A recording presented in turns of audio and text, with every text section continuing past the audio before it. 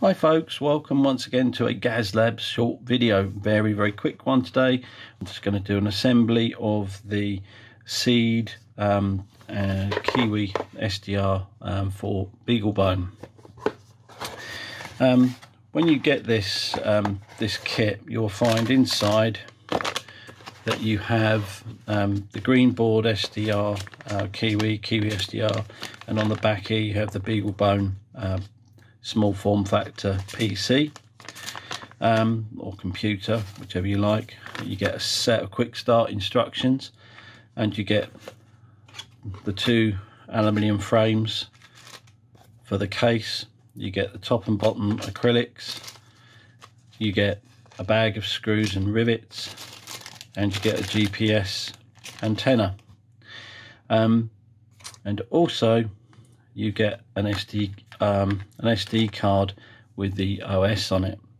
Um, just a little point to note that you do not need to install this. Okay, if you the first thing that, that you should do on receiving this case, okay, is identify all the parts. Okay, take the box and take the SD card, pop that in the box and put that away somewhere safe because you're not going to need the SD card unless something bad happens and you need to reinstall the OS which is pre-installed on these kits. So what do you get? Well you get the um, you get the SDR um, or the Kiwi SDR main board and you get the BeagleBone and they're all pre-assembled. Now what you would normally do is you would take the two frames, the acrylics, the nuts and bolts and all that and assemble that um, that up.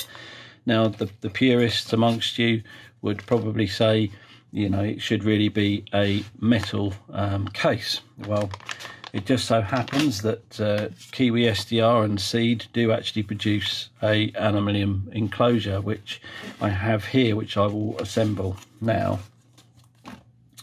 Now, what you get in the case here, if I show you, okay, I've unpacked most of this to save a little bit of time.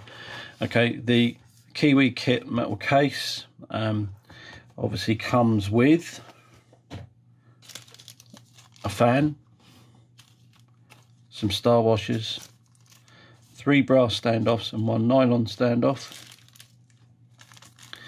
You get a bag of screws there and one nylon nut or sorry one nylon uh, screw.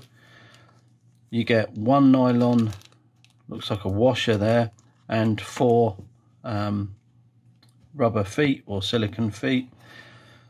You get the, um, the looks like the rear case the front case and then the two halves to the main case.